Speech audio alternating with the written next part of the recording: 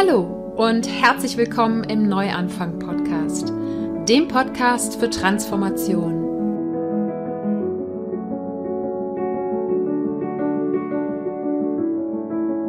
Mein Name ist Sarah Heinen und ich bin hier, um all denen Mut zu machen, die das Gefühl haben, dass da draußen und in ihrem Inneren noch mehr auf sie wartet. Gehen musst du deinen persönlichen und spirituellen Herzensweg selber. Doch die Gespräche und Ideen in diesem Podcast stehen dir bei deiner Transformation zur Seite. Ich freue mich, dass du heute im Neuanfang Podcast wieder dabei bist.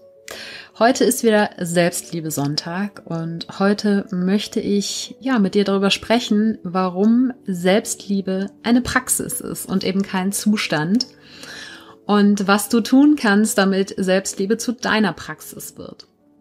Und diese Episode ist für, ja, alle ganz besonders die, die Erwartungen an Selbstliebe haben, Erwartungen an sich selbst haben äh, in puncto Selbstliebe, dass sie einfach, ja, gehofft haben, es wird schneller gehen oder sich würden, wünschen würden, ich würde mich endlich einfach selbst lieben und wann ist es denn jetzt soweit und ja, vielleicht auch Enttäuschungen in dem Zusammenhang eingesteckt hast, äh, dann ist diese Episode ganz genau richtig für dich. Aber auch wenn vielleicht, vielleicht für dich das Thema Selbstliebe noch gar nicht so präsent ist, und du einfach ein paar Inspirationen mitnehmen möchtest, wie du Selbstliebe in deinen Alltag integrieren kannst und einfach von Anfang an ein gutes Mindset zum Thema Selbstliebe mitnehmen möchtest.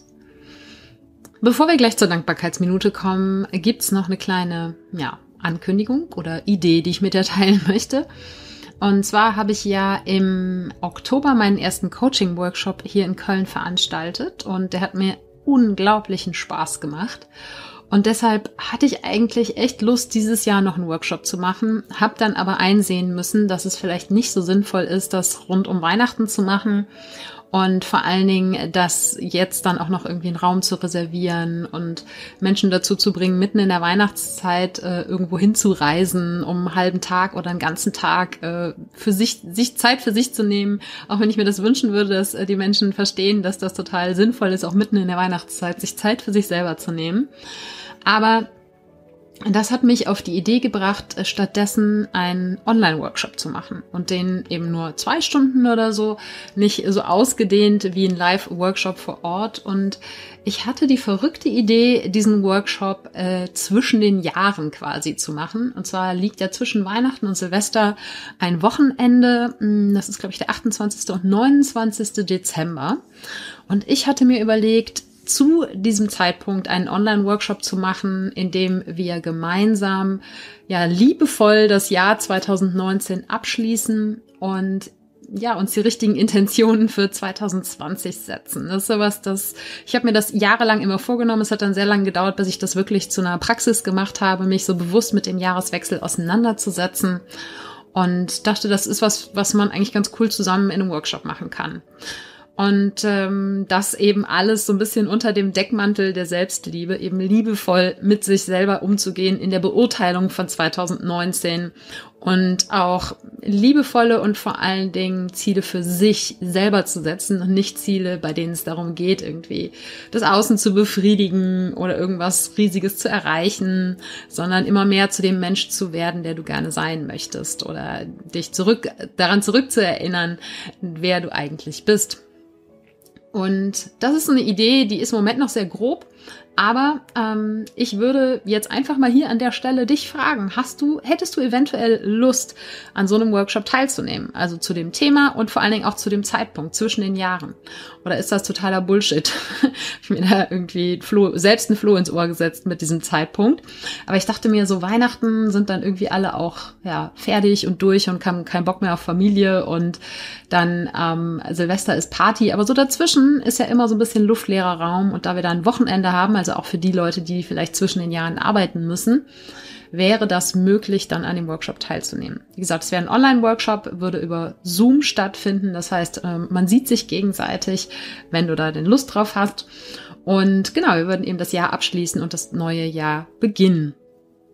Wenn du da Lust drauf hast, dann schreib dich unbedingt auf meine sozusagen Warteliste für Workshops. Ich habe so eine extra Workshop-Liste den Link findest du auf meiner Webseite sarah-heinen.de, Sarah ohne H geschrieben. Ich werde den direkten Link zur Workshop-Warteliste, aber auch in die Show Notes hier zu dieser Episode packen. Und die Show Notes, die findest du unter www.happyplanties.de slash Episode 148. Und das werde ich aber dann auch am Ende nochmal sagen. Ja, das, wie gesagt, die Ankündigung. Und wenn du Bock drauf hast, trag dich auf diese Liste ein, dann kriegst du auf jeden Fall mit und dass es passiert oder eben nicht passiert. Nee, wenn es nicht passiert, dann kriegst du es nicht mit, aber dann passiert es ja auch nicht. Verpasst du ja nichts. Und wenn du sagst, ich habe auf jeden Fall mega Bock drauf, ja, ich äh, möchte sozusagen mein Interesse bekunden, sehr, sehr laut, dann schreib mir auch gerne eine E-Mail.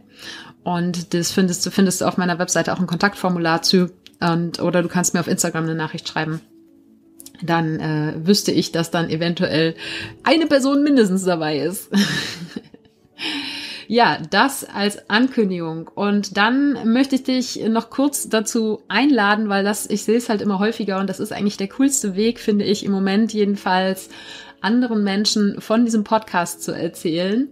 Wenn du jetzt hier diese Episode gerade hörst und jetzt sofort schon oder äh, in der Mitte oder am Ende der Episode das Gefühl hast, das ist eine Episode, die möchte ich gerne teilen und du bist auf Instagram aktiv, dann mach einfach einen Screenshot von dem Player, vorausgesetzt du hörst mich gerade hier auf dem Handy, was die allermeisten tun.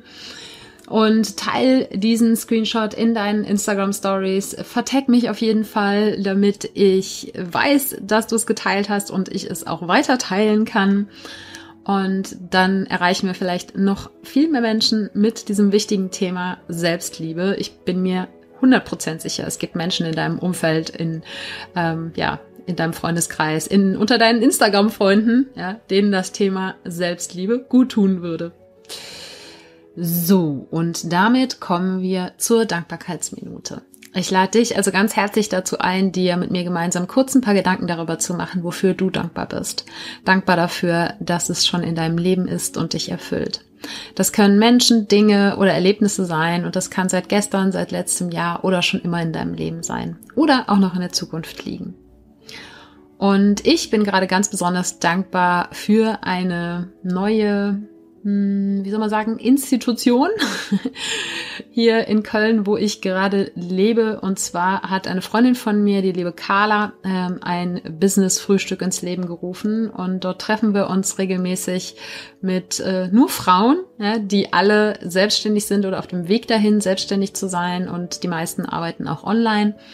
Und es ist einfach ein wunderbares neues Umfeld für Austausch und ja, Ding, der Kontakt zu anderen Frauen, der mich unglaublich empowert. Wir empowern uns gegenseitig, wir helfen uns gegenseitig aus, geben uns Tipps und vor allen Dingen ist es auch ein Umfeld, wo die Menschen sind, wo man auch mal sagen kann, ja, was gerade nicht so gut läuft, wo man sich mal auskotzen kann oder wo man eben dann auch konstruktive Kritik oder konstruktive Tipps bekommt, wenn es eben gerade mal nicht so läuft, wie man sich das eigentlich wünschen würde. Und das ist einfach unglaublich wertvoll und dafür, für dieses Frühstück, was jetzt regelmäßig stattfindet, bin ich unglaublich dankbar und also danke, falls du das hörst, an dich, Carla, für die Idee, beziehungsweise auch danke nach Berlin, wo es die Idee schon länger gibt und wo es schon länger äh, stattfindet.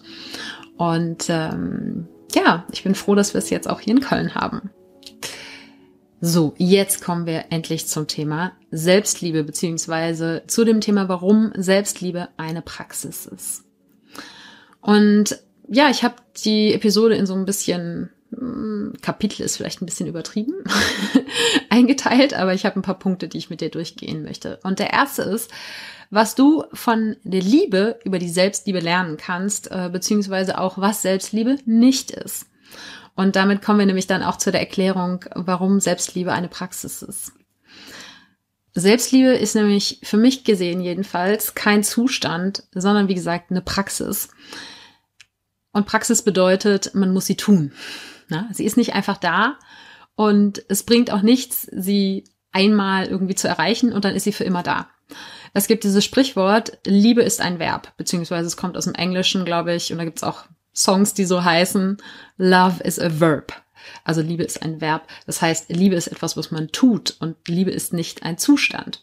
Natürlich ist es auch ein Zustand, aber wenn man möchte, dass dieser Zustand anhält, dann geht es eben darum, auch eine Praxis daraus zu machen.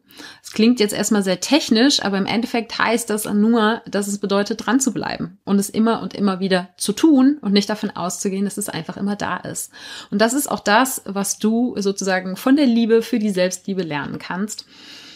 Denn ähm, ja, ich merke immer wieder, dass so dieses, dieses Denken herrscht, wenn ich mich endlich selbst liebe, dann wird alles gut. So. Aber wann ist dieser Punkt erreicht, wenn ich mich endlich selbst liebe? Und ich sag bei in meiner Facebook-Gruppe immer, in meiner Community äh, für Single-Frauen, dass wir ja kein Selbstlibometer am Körper haben. Ja, das heißt, gibt nicht so ein aufgedrucktes, aufgedruckte Skala wie so ein Thermometer, ja, wo irgendwann steht, ja, herzlichen Glückwunsch, Sie haben 100% Selbstliebe erreicht. Selbstliebe ist genauso wie Liebe nicht messbar. Und daher kannst du auch nicht so wirklich sagen, okay, jetzt bin ich endlich da.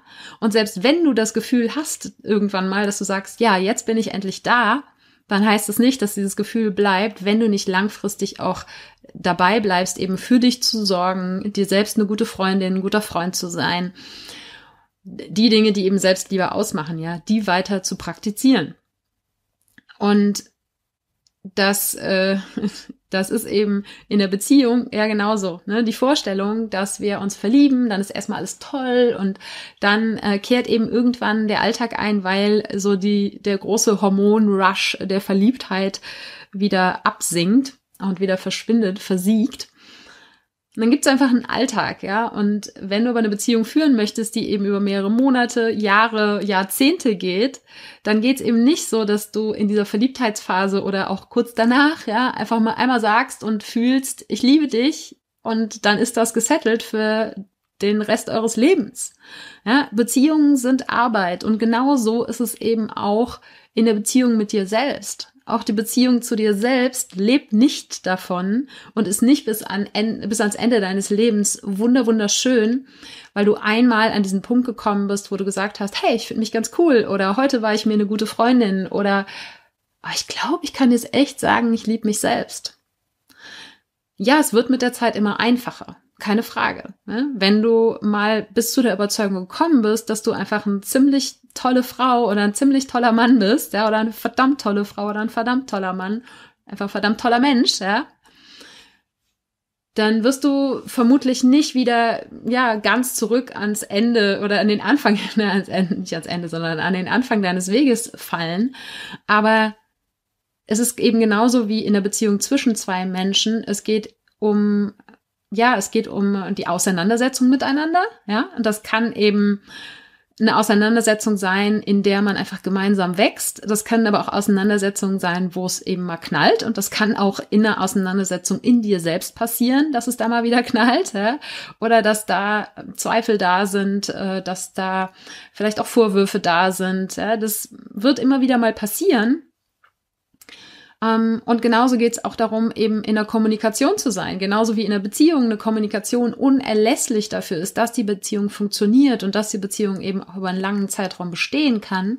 Genauso ist es in der Beziehung mit dir selbst. Geh immer wieder in Kommunikation mit dir selbst, sei es jetzt in Form von Meditation, von Tagebuchschreiben.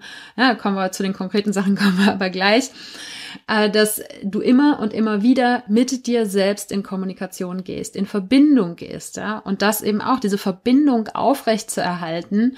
Dafür braucht es einfach ja, in der Beziehung zwischen zwei Menschen zum Beispiel, dass diese Menschen gemeinsame Interessen haben oder dass diese Menschen gemeinsam Zeit verbringen, womit auch immer. Ja? Und dass diese beiden Menschen sich immer wieder gegenseitig berühren, nicht nur physisch, sondern auch auf einer seelischen Ebene. Und genau so, das kannst du wirklich eins zu eins übersetzen in der Beziehung mit dir selber. Es geht darum, immer wieder dich mit dir selbst zu verbinden und dich selbst zu berühren. Ja, das kann körperlich sein, das darf sehr gerne körperlich sein, aber es darf eben auch auf einer seelischen Ebene, beziehungsweise muss auch auf einer seelischen Ebene stattfinden. Und also alles das, wo, ja, wenn du irgendwo ein Buch oder einen Blogartikel zum Thema Beziehungstipps liest, ja, dann kannst du eigentlich fast alles eins zu eins auch auf die Beziehung mit dir selbst übertragen. Und das äh, ja zeigt dann auch automatisch schon, dass Selbstliebe nicht etwas ist, was du irgendwann einfach erreichst, sondern das ist ja, es ist eine Liebesbeziehung, die aufrechterhalten will, werden will. Und es ist eine Freundschaft, die aufrechterhalten werden will. Und diese Dinge, die erfordern Engagement von deiner Seite. Und in diesem Fall ist es eben Engagement für dich selbst und nicht für einen anderen Menschen oder für die Beziehung zu einem anderen Menschen. Ja, also bei einer Yoga-Praxis ist irgendwie klar, ja, was es bedeutet. Es ist eine Praxis. Das heißt, man praktiziert es regelmäßig und man weiß aber, ich will eine Yoga-Praxis aufbauen, also mache ich Yoga. Was heißt denn jetzt eine Selbstliebe-Praxis aufzubauen, zu integrieren, für dich zu finden? Und äh, in diesem Fall, um da dann im Endeffekt auch die ganzen paar ganz konkrete Ideen mitzugeben, wie so eine Selbstliebepraxis aussehen kann, möchte ich mir erst mit dir gemeinsam die verschiedenen Ebenen sozusagen der Selbstliebe anschauen und ja, wie, was dir eben dann auch dabei helfen kann, auf den verschiedenen Ebenen Selbstliebe zu einem selbstverständlichen Teil deines Lebens zu machen. Und es ist mir ganz, ganz wichtig zu sagen, dass es nicht darum geht, dass diese verschiedenen Ebenen in irgendeiner Form, dass die eine Ebene besser oder schlechter ist als die andere. Ja? Es sind einfach verschiedene Ebenen.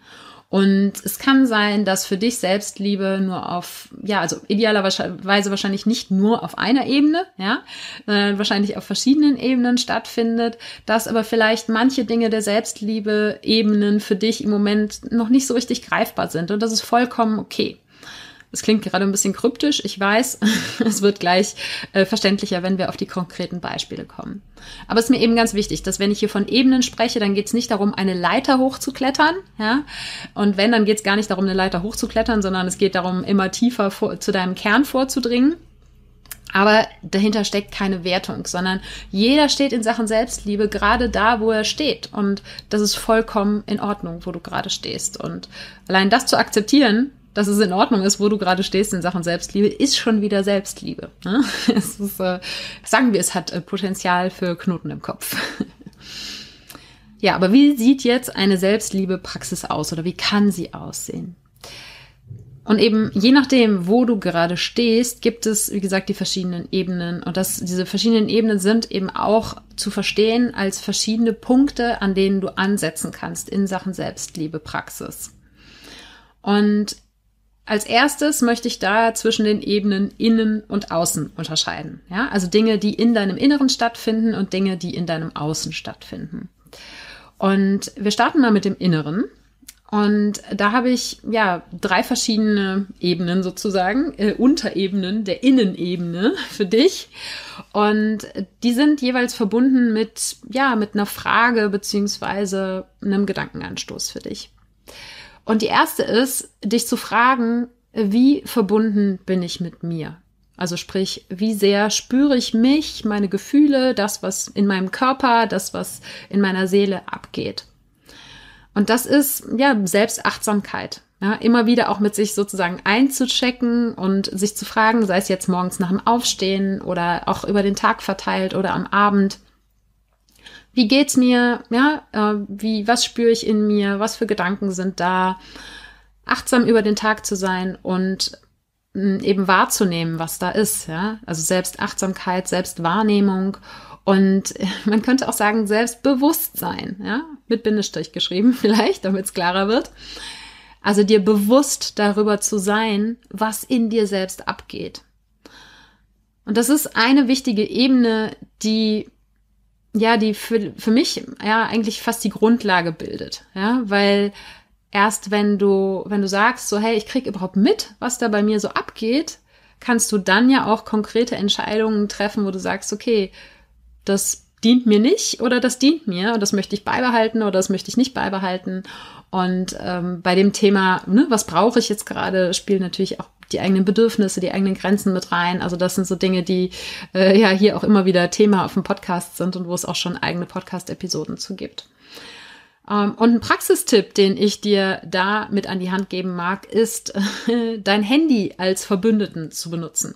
Eigentlich ist unser Handy eher was, was uns beim Thema Selbstliebe im Weg steht, nämlich uns insofern im Weg steht, als dass wir es gerne zur Hand nehmen. Und ich sage jetzt wir, weil mir geht es ganz genauso. Ähm, wenn, wenn wir eigentlich uns gerade nicht mit uns verbinden wollen, sei es jetzt bewusst oder unbewusst. Nämlich, wenn denn diese Momente da sind, wo wir Ruhe dafür hätten, uns, uns mit uns selbst zu verbinden, dass dann der Griff ganz oft zum Handy geht. Und wir uns lieber mit der ganzen Welt äh, scheinbar verbinden, anstatt mit uns selber. Und den Hand, das Handy als stattdessen als Verbündeten, also anstatt als Feind zu sehen, ja, das kann so aussehen, dass du dir vielleicht einen Handy-Hintergrund machst, ja, der dich daran erinnert, immer wieder mit dir selbst einzuchecken. Das kann sein, dass du dir ähm, Erinnerungen auf dem Handy, im Kalender einprogrammierst, mehrmals am Tag oder so, die dich immer wieder daran erinnern, dich mit dir selbst zu verbinden und einzuchecken.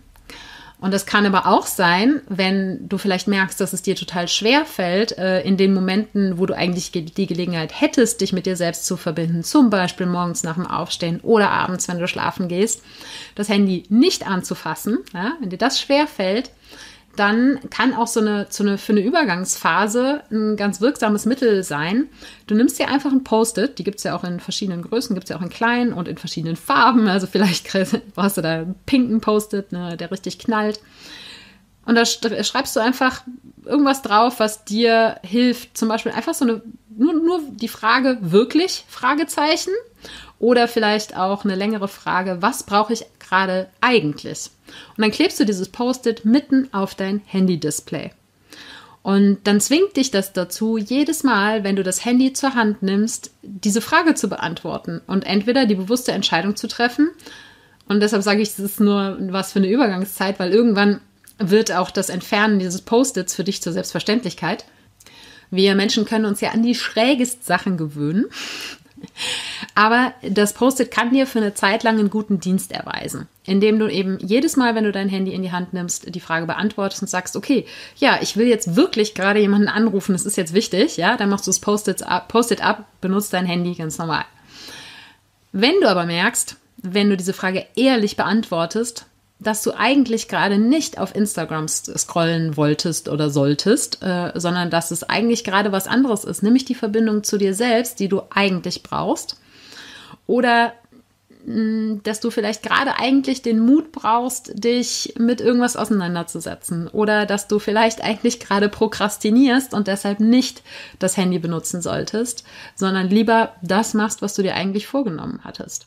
Ja, das kann eine ganz gute ähm, ja, Sperre, so eine Hürde sein, das Handy zu benutzen, wenn du da ein Post-it mitten aufs Display klebst. Ja, das äh, als Praxistipps dazu, dich mit dir selbst zu verbinden, das Handy als Verbündeten zu benutzen, statt als Feind anzusehen.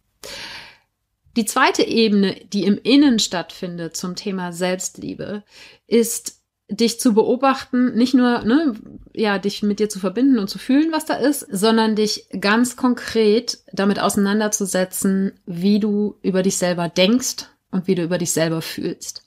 Also nicht nur dich mit dir zu verbinden und zu schauen, was ist heute da, ne, geht's mir heute gut, geht's mir heute nicht gut, sondern ganz konkret deine Gedanken und Gefühle, die du dir selbst gegenüber hast, zu beobachten eben zu beobachten, ja, wie rede ich mit mir selber? Was für Gedanken habe ich in meinem Kopf? Sind das Gedanken, die aufbauend sind, die mich ähm, ermutigen, ermächtigen? Oder sind das Gedanken, die mich klein halten? Sind das Gedanken, die mich fertig machen, ja, die mich kritisieren? Und das kann, können Gedanken und äh, ja auch Worte, die du manchmal laut aussprichst, ja, oder auch Gefühle, die da sind dir selbst gegenüber, bezüglich deiner Fähigkeiten sein, deiner Eigenschaften, deinem Körper gegenüber, ja, das hat ganz, ganz viele Unterebenen. Und das ist auch bei jedem Mensch anders. Bei manchen sind es alle Themen, bei manchen nur einige Themen. Ja? Schau da, dass du, dass du da hinkommst, deine eigenen Gedanken und Gefühle, die du über dich selber hast, über deine Eigenschaften, deinen Körper, deine Fähigkeiten, was da sonst noch so äh, Teil von dir und deinem Leben ist, was da vorherrscht, ja, wie du mit dir redest, wie du über dich selber denkst. Und das, was du über dich selber denkst, so redest du eben auch mit dir, ja, denn auch wenn du die Sachen nicht laut aussprichst, die Gedanken sind trotzdem da und haben einen Effekt auf dich. Und da geht's eben darum, in das Thema Selbstakzeptanz einzusteigen, mit den Dingen, die da sind, erstens liebevoll umzugehen, dann aber eben auch die lernen, die anzunehmen beziehungsweise zu transformieren in Dinge, die ja, die du für dich, wenn es zum Beispiel um Eigenschaften geht, ja, ähm, wenn du sagst, ich bin ein sehr perfektionistischer Mensch, diese Eigenschaft auf positive Art und Weise für dich zu nutzen, anstatt auf destruktive Art und Weise. Und damit eben peu à peu auch deinen Selbstwert zu steigern, weil du immer mehr dahin kommst, liebevoll mit dir zu reden, liebevoll über dich zu fühlen und damit eben dir selbst einen größeren Wert beimisst, als du es vielleicht im Moment noch tust. Und da mag ich dir als Praxistipp mitgeben, das habe ich vorhin schon mal kurz erwähnt, das ist halt einfach, es ist eine alte Leier, ja, und ich sage es immer wieder und andere Leute sagen es auch immer wieder, aber je häufiger du es hörst, desto ähm, mehr glaubst du vielleicht, dass das äh, der beste Weg ist, um deine Gedanken zu beobachten. Meditation. Als Alternative, wenn dir das schwer fällt, Meditation, aber ne, das ist, wieso fällt dir Meditation schwer? Es ist geht ja nicht darum, nichts zu denken und schon gar nicht darum, wenn es darum geht, wenn du hier den, den Sinn in der Meditation siehst, einfach herauszufinden, was du denken möchtest, äh, nicht was du denken möchtest, sondern was du denkst, ja, wenn du herausfinden möchtest, was du denkst, so rum. Dann nimm dir die Zeit, setz dich hin, mach die Augen zu, atme ein paar Mal tief ein und aus und dann beobachte, was da hochkommt. Und das ist das, wo ich sage, okay, das ist vielleicht eben am Anfang nicht einfach, dich davon zu distanzieren. Aber genau das ist das Riesengeschenk, was dir Meditation machen kann, wenn du konsequent da dran bleibst. Zu erkennen, dass du eben nicht deine Gedanken bist und eben auch nicht die Gedanken, die du über dich selber denkst, die Gedanken der Kritik, die Gedanken des Zweifels. Das bist nicht du.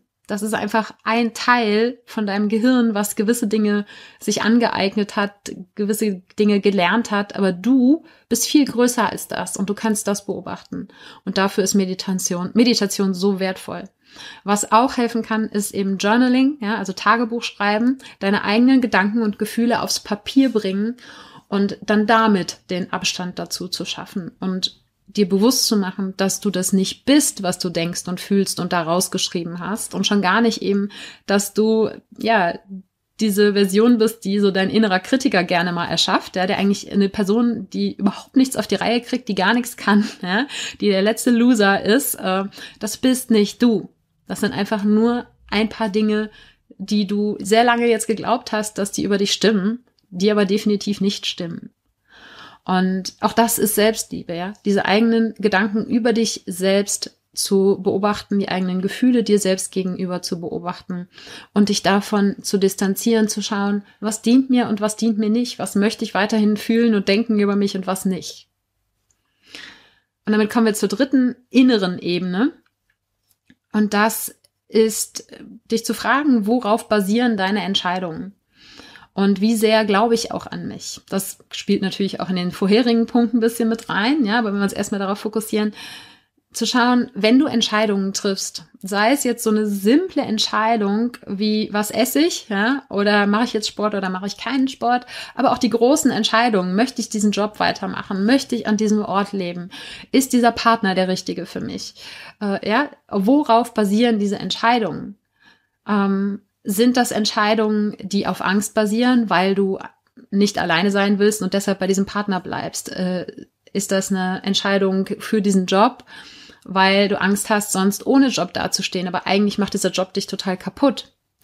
Oder sind es eben Entscheidungen bezüglich Sport, Essen, sonstigem Dingen, die ich unter Selbstfürsorge zusammenfasse, die deine Gesundheit riskieren? Und die vielleicht eben dein Energielevel nicht auf den, auf das Niveau bringen, wo du es eigentlich gerne haben möchtest.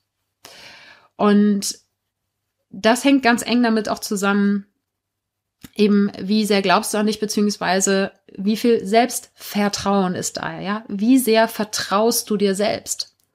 Wie sehr vertraust du dir in deinen Entscheidungen? Und wie sehr vertraust du eben auf deine Fähigkeiten und ne, eben wie sehr glaubst du an dich? Und ähm, glaubst du daran, dass du es schaffen kannst, Sport zu machen? Glaubst du daran, dass du es schaffen kannst, dich gesund zu ernähren? Glaubst du daran, dass du es schaffen kannst, einen neuen Job zu finden? Oder glaubst du daran, dass du es schaffen kannst, auch alleine zu sein, ohne einen Partner? Wie sehr vertraust du dir selber? Auch das hat was mit Selbstliebe zu tun, Entscheidungen für dich zu treffen. Es geht nicht darum, rücksichtslos zu sein und nach mir die Sinnflut, ja, Entscheidungen so zu tre treffen, dass sie andere Menschen benachteiligen oder verletzen. Aber es geht vor allen Dingen darum, Entscheidungen für dich zu treffen und nicht so sehr aus der Angst heraus zu entscheiden, der Angst heraus beurteilt zu werden, der Angst, ähm, ja, nicht gut genug zu sein, der Angst, nicht den Erwartungen anderer Menschen entsprechen zu können. Und der Praxistipp da ist einfach eine ganz simple, aber doch riesen, riesengroße Frage, die du dir bei Entscheidungen stellen kannst. Eben um Entscheidungen zu treffen, die nicht mehr aus der Angst heraus sind, sondern aus der Liebe für dich selber. Aus Selbstliebe.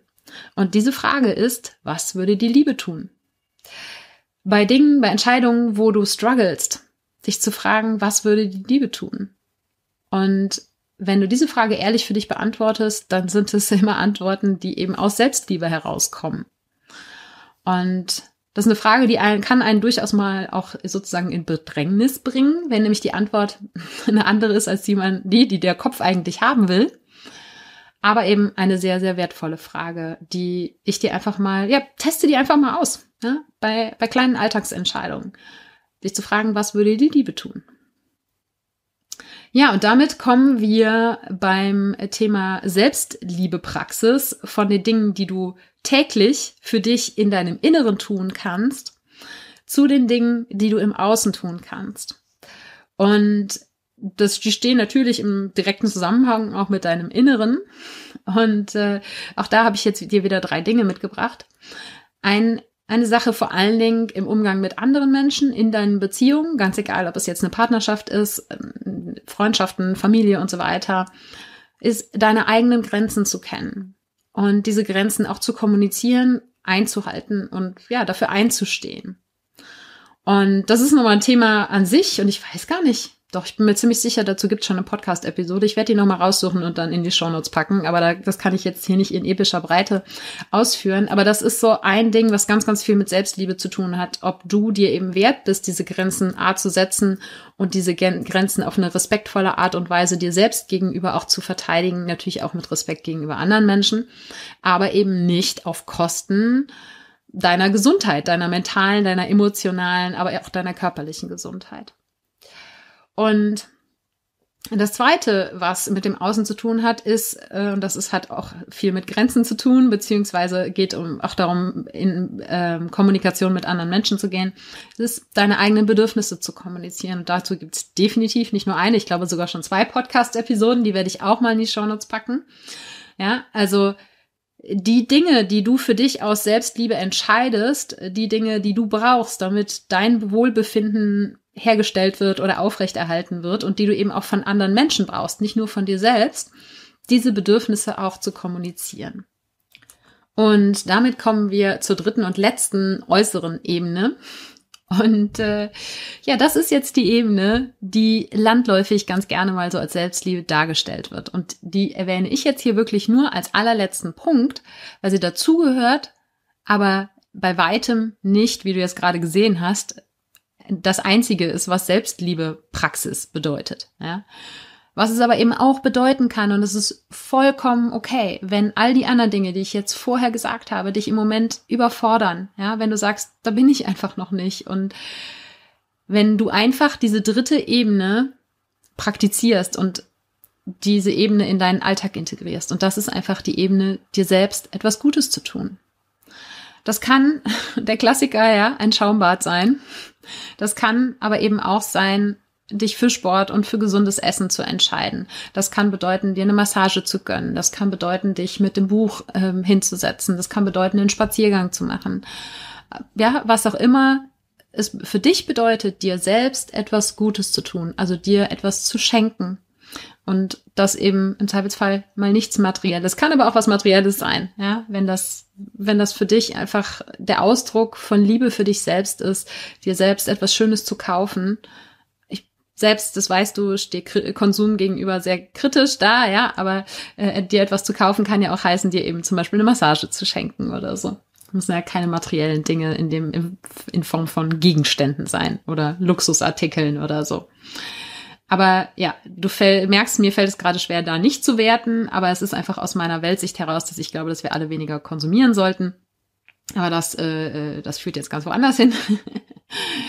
Aber diese Ebene im sozusagen im Außen, was gerne eben, wenn du Selbstliebe googelst, ja, in der Bildersuche kommen im Zweifelsfall, ich habe es jetzt nicht getestet, aber Bilder von ähm, äh, Sekt trinkenden Frauen im Schaumbad.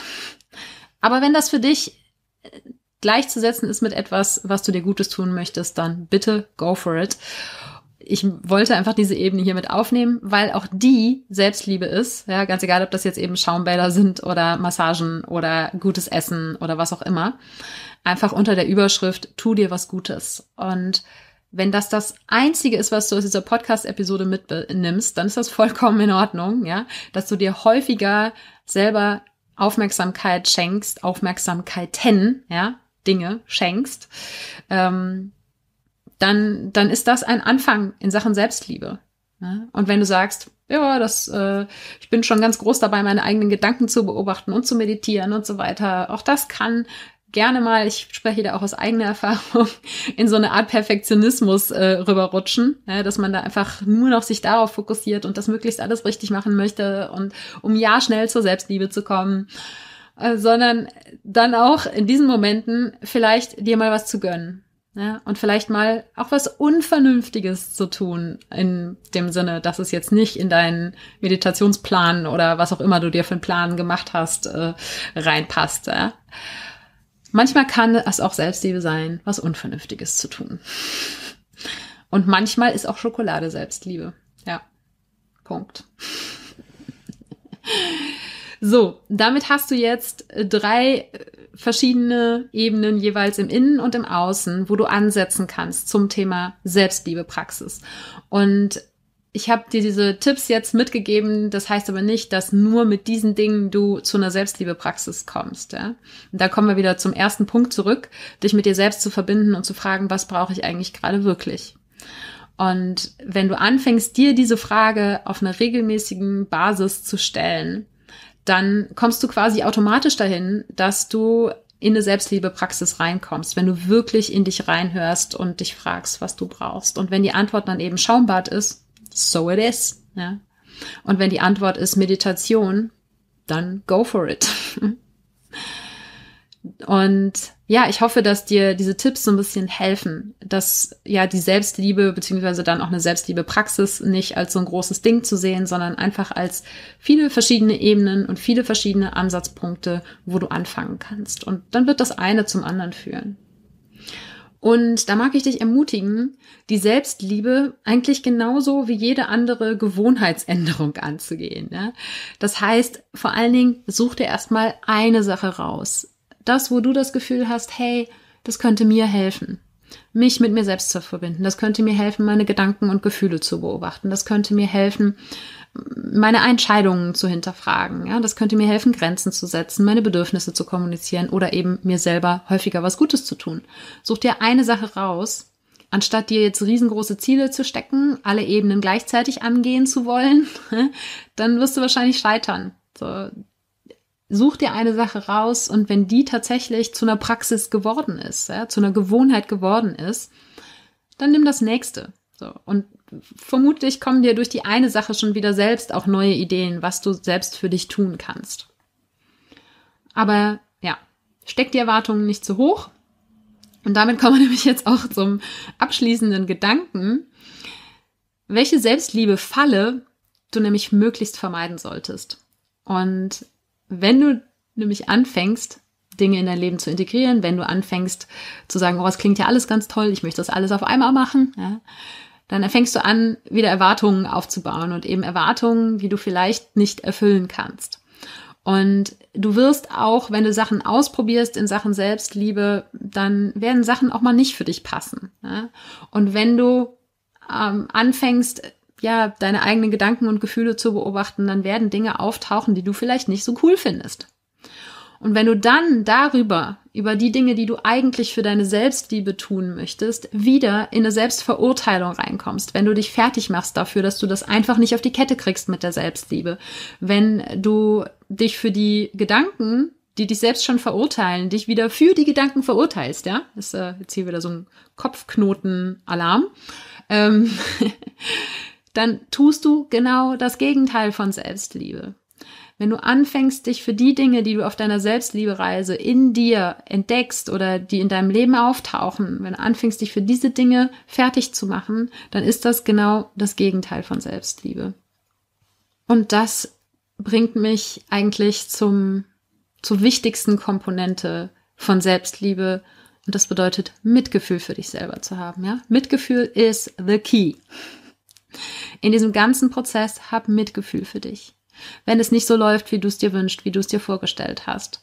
Und wenn es Rückschläge gibt und wenn dann doch wieder Zweifel auftauchen, auch wenn du sagst, ich habe jetzt alle negativen Gedanken aus meinem Kopf beseitigt und trotzdem sind noch Zweifel da. Ja, also ich übertreibe das gerade ein bisschen, weil du wirst nie alle negativen Gedanken aus deinem Kopf verbannen können. Und du wirst auch nie alle Zweifel und Ängste verbannen können.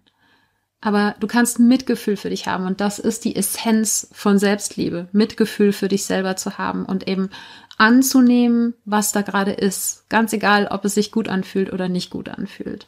Und ganz egal, ob es deinen Erwartungen entspricht oder nicht deinen Erwartungen entspricht.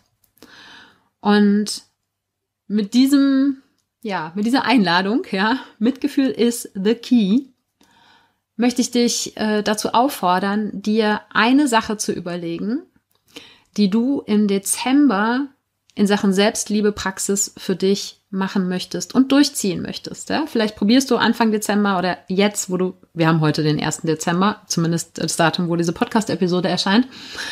Vielleicht suchst du die hier aus der Episode, vielleicht hast du auch eigene Ideen, ein paar Sachen raus, die du mal austestest, ein, zwei, drei Tage und du sagst so, hey, das ist was, das kann ich mir vorstellen, das ziehe ich jetzt den ganzen Dezember mal durch. Such dir eine Sache raus. Ja? Vielleicht ist es die Geschichte, dir denn das Post-it aufs Handy zu machen, um weniger am Handy zu sein und dich dir mehr selbst Gelegenheiten zu schenken, mit, dich mit dir zu verbinden. Ähm, vielleicht ist es, dass du Meditation ausprobierst oder Tagebuch schreibst oder ja, deine eigenen Entscheidungen äh, mit der Frage, was würde die Liebe, die Liebe tun, überprüfen möchtest. Oder wie gesagt, auch gerne eigene Ideen und teile das mega, mega gerne auf Instagram, weil du damit nicht nur dir selbst ein Commitment gibst, auch dran zu bleiben, diese eine Sache in puncto Selbstliebe-Praxis für den Dezember als Abschluss des Jahres dir selbst zu schenken, dir sozusagen selbst zu Weihnachten zu schenken, ja, sondern du inspirierst natürlich auch die anderen damit, ja? wenn du noch deine eigenen Ideen mit einbringst und sagst, das möchte ich gerne im Dezember für meine Selbstliebe tun gesagt, ich freue mich, wenn du es auf Instagram teilst, am besten unter dem Post zu dieser Episode. Äh, falls du mir noch nicht auf Instagram folgst, du folgst, du findest dich mich dort unter Ich bin Sarah Heinen und Sarah ohne H geschrieben, das heißt in dem äh, ne? Sarah Heinen, da ist nur ein H drin. Das ist nicht so einfach mit diesem Namen. Ich mag ihn trotzdem. Und ja, teile da deine Selbstliebe-Praxis, dein eines Ding, was du im Dezember für dich durchziehen möchtest und committe dich und inspiriere die anderen damit. Und dann nochmal kurz die Erinnerung, ich habe es am Anfang der Episode schon gesagt, wenn du Lust hast, das Jahr liebevoll für dich abzuschließen, in ne, purer Selbstliebe für dich, eben auch in Mitgefühl für dich, vielleicht für die Dinge, die in diesem Jahr nicht funktioniert haben, aber auch deine Erfolge aus diesem Jahr zu feiern, wie auch immer sie aussehen mögen. Und wenn du das neue Jahr 2020 schon mit Selbstliebe beginnen möchtest, dann äh, ja, zeig mir, dass du dich für diese Workshop-Idee, die gerade noch sehr grob ist, zugegebenermaßen interessierst und vielleicht beim Online-Workshop zwischen den Jahren, ich habe noch kein genaues Datum, aber wenn du sagst, ich habe grundsätzlich Interesse an so einem Online-Workshop für zwei Stunden ungefähr dabei zu sein und wie gesagt, das Jahr in Liebe abschließen und in Liebe das Neue beginnen, in Liebe für dich selbst dann äh, trag dich auf meine Workshop-Warteliste ein. Den Link findest du auf meiner Webseite unter Coaching Workshops, aber auch in den Show Notes hier zu dieser Podcast-Episode, die noch zu finden ist unter www.happyplanties.de slash Episode 148. Bis der Podcast dann im neuen Jahr irgendwann auch auf die neue Webseite umzieht. Ich danke dir von ganzem Herzen, dass du dabei warst und freue mich, wenn wir uns auch nächsten Sonntag wieder hören. Und wenn es in deinem Umfeld Menschen gibt, denen der Neuanfang-Podcast auch Mut machen könnte, dann erzähl ihnen super gerne davon. Oder teile den Podcast via Social Media. Denn je mehr Menschen ihr Leben hin zu mehr Erfüllung transformieren, desto mehr können wir alle gemeinsam auf der Welt bewegen. Und weil es mich wahnsinnig interessiert, was du in deinem Leben schon transformiert hast oder was gerade deine größten Herausforderungen dabei sind, kann ich es kaum erwarten, mich mit dir dazu auszutauschen. Und am besten geht das, wenn du bei Instagram zum Post dieser Episode einen Kommentar schreibst. Und du findest mich dort unter Ich bin Sarah Heinen. Alles zusammen, alles klein und Sarah ohne Haar. Und jetzt wünsche ich dir einen Tag voller Wunder und schicke dir eine riesen Portion Mut für deine Transformation. Fang an zu wachsen und blüh auf.